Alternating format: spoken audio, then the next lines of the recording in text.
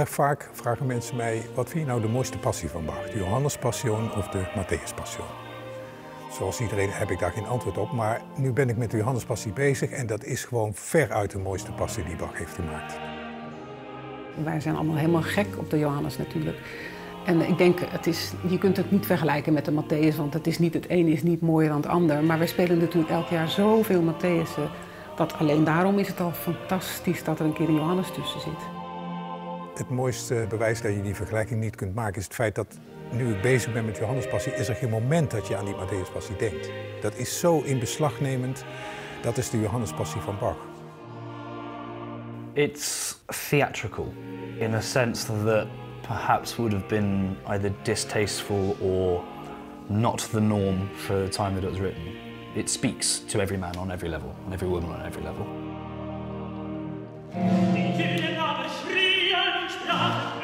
Er zitten scènes in die zeer compact zijn en waar korte, felle koren elkaar afwisselen en die, waar veel tumult is. En dan heb je even het idee, twintig minuten lang, dat je in een opera zit. Dat is heel beeldend gecomponeerd, eh, snel ook gecomponeerd, niet onderbroken met lange aria's. And then when the congregation just can't take any more, he puts this really plaintive aria, uh, you know, fließen mein Herz, or um, an aria also like Betrachte meine Seele, where actually you just, after all of that, you just have that space just to decompress and reflect. And then it goes again.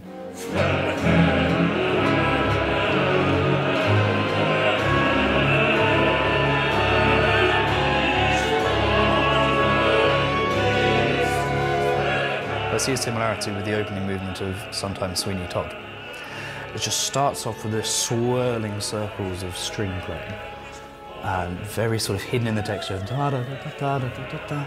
In Sweeney Todd, you get this da, da, da, da, da, da, da, oscillation. And it's, you, you can just feel from minute one the evil that is forming.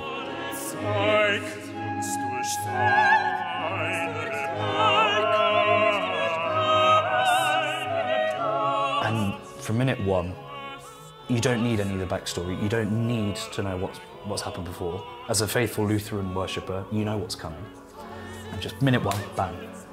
And then we sing this, this hymn to God with this sort of very, very dark, um, oppressive quality to it.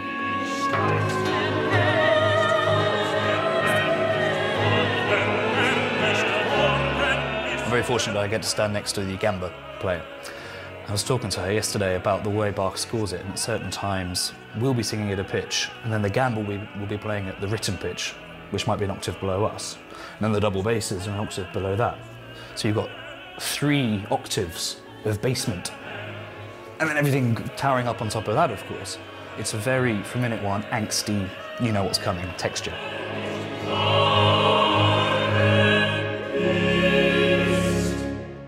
Er moeten in het hoofd van Bach momenten zijn geweest dat er nog geen noot op papier stond en dat Bach dan gewoon dit verzint. De Johannespassie begint met een grote lofprijzing. Niet alleen in de hemel, maar ook in ellende. Altijd moeten we God prijzen. Daar sluit hij ook mee af, het slotkoraal. En daartussenin komt dus heel compact die passievertelling.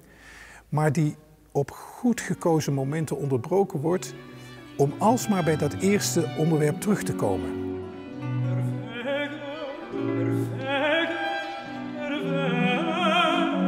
Een van de centrale aria's is de tenoraria Erweke. Veruit de langste aria de hele Johannespassie. Het hoofdonderwerp moet even zijn plek krijgen. En dat is een onvoorstelbaar beeld voor ons moderne mensen. Dus die tenor die start in totale verbijstering en zegt dan, kijk, kijk die rug is van Jezus. Al dat bloed, al die geestelingen. Het is een gruwelijk beeld, onverdraaglijk eigenlijk. En hij zingt het. En dan zegt hij, ja, maar jullie kijken daar verkeerd naar. Dat bevat eigenlijk een groot geheim. Want je moet niet dat bloed zien, maar zie het bloed als de regenboog die alles opent en die je de weg naar de hemel wijst. Dus dat wordt, ik, ik noem nu één voorbeeld uit de Johannespassie, maar dat komt steeds maar weer terug, dat onderwerp. En Bach prepareert als het ware zijn luisteraars om op het eind met hem tot de conclusie te komen. Ik wil dich prijzen ewiglich. Dus de Johannespassie eindigt helemaal niet met verdriet en eindigt ook helemaal niet met het graf. Maar er is een veel groter onderwerp wat Bach ongelooflijk virtuoos blijft bewaken.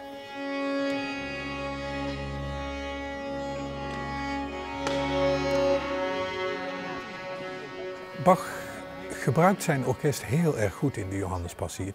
De delen zijn allemaal heel verschillend geïnstrumenteerd. De ene keer zijn de fluiten bij de tenoren, de andere keer zijn de fluiten bij de eerste violen. Maar Bach gebruikt ook bijzondere instrumenten, zoals de luid, die Bach gebruikt in die prachtige bas arioso betrachten, Meine Seel. De viola d'amores in de tenoraria Weken, de viola da gamba. Dus dat zijn voor een deel in Bachs tijd eigenlijk al heel ouderwetse instrumenten. Maar Bach weet hun precies in hun in hun juiste kleur te pakken, als het ware. De, de, misschien is het mooiste voorbeeld wel die Viola da Gamba. Dat is een heel triest moment in het passieverhaal. Jezus is eigenlijk op sterven na dood, zou je zeggen. Maar net daarvoor komt deze altaria. En dan bedenkt Bach muziek die je nog best zou kunnen noemen uh, een tombeau, een Frans muzikaal genre wat vooral bij, bij uitvaarten en bij, bij rouwverwerking. En, uh, je maakt in muziek een tombeau, een grafmonument. Maar dan niet in steen, maar in muziek. Dat, dat is eigenlijk wat die alt-aria doet. Ik heb toen ik, uh, ik denk twintig jaar geleden of zo, een keer naar de Johannes ging luisteren. En ik had hem al regelmatig gespeeld. Heb ik eigenlijk voor het eerst gehoord wat het effect is van die klank op dat moment.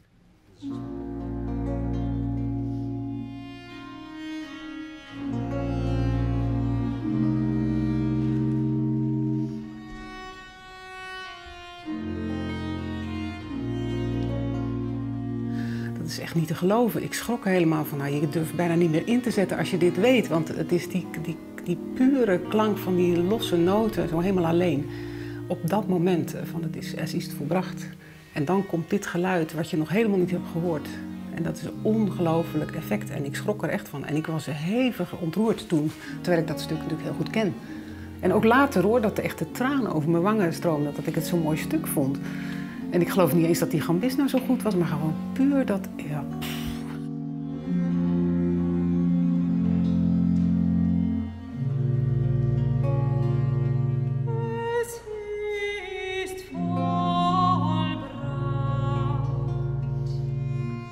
Jos die heeft het steeds over een tombeau. Dat is natuurlijk ook waar. Het is natuurlijk een, een, een grafschrift, zeg maar.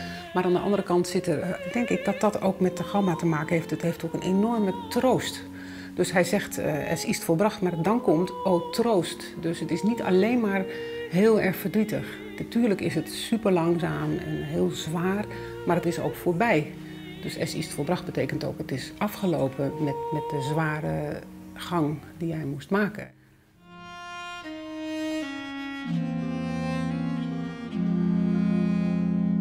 Ongelooflijk emotioneel. Es is volbracht, zingt de alt. En iedereen zit met zijn zakdoek klaar om in, in, in, huilen uit te barsten. En dan in het middendeel van die aria is er ineens een majestueus D groot... waarbij de alt zingt, der held als Juda ziekt. In het midden van zo'n verdrietige scène.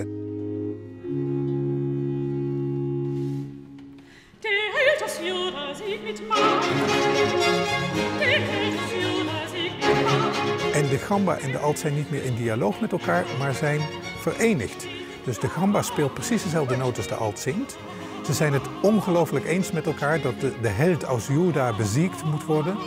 En dat middendeel is precies ook de conclusie waarmee Bach begint aan de passie en waarmee hij uiteindelijk de passie sluit. Dus het lukt Bach opnieuw om, dat, om die grote lijn weer terug op te pakken.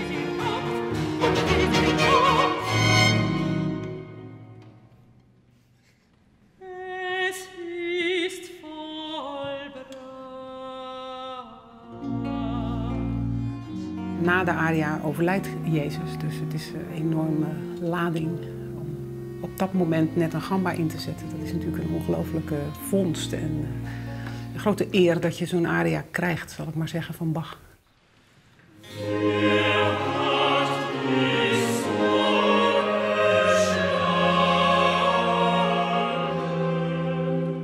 Productie als deze, de Johannespassie met jonge zangers. Niemand eh, in onze kast is geloof ik ouder dan 35 jaar.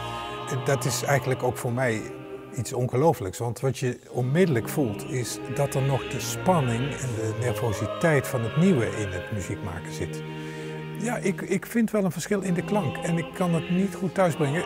Maar je hoort een soort, soort hart, een soort commitment in de klank. Die je soms bij... Uh, bij eh, heel professionele oudere zangers mist. En in de orkest eh, net zo. Het is om die reden eigenlijk ook voor ons van een oudere generatie heel erg nuttig om met jongere mensen te werken. Want je kunt er zelf ook jong van worden als je het goed gebruikt.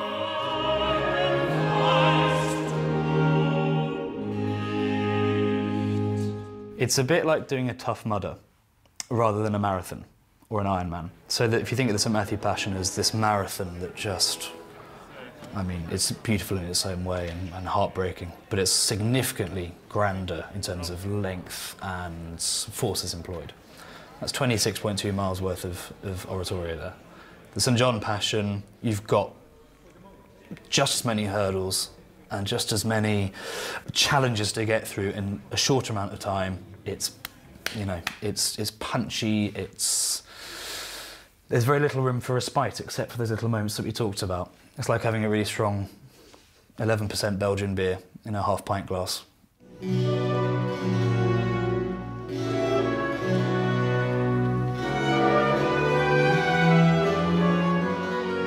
Het slotkoor van de Johannespassie lijkt eigenlijk wel heel veel op dat van de Matthäuspassie. Beide in driekwartsmaat, C-klein.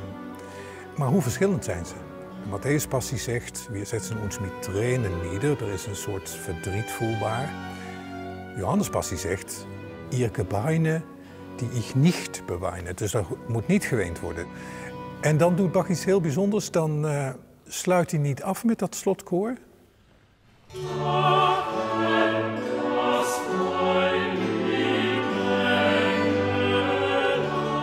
Er volgt nog een slotkoraal. En daarin merk je echt de meesterhand van Bach. Want de keuze van dat koraal wordt ineens dat passieverhaal opgenomen in een veel grotere structuur. Waarbij God en mens één worden zoals twee geliefden één worden. Dat klinken woorden van koning Salomo in het slotkoraal, waar dan gesproken wordt over de slaafkämmerlein. De meest intieme ruimte waar twee geliefden kunnen samenkomen.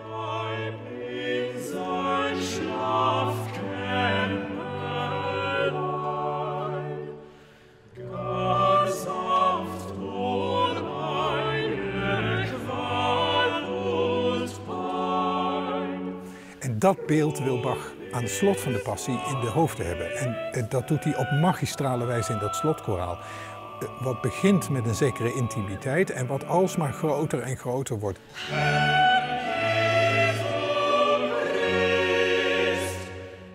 Het lijkt alsof de wereld wordt ontspannen met die teksten van het slotkoraal. En dan kan Bach dus ook eindigen zoals hij is begonnen. Ich will dich preisen, ewiglich.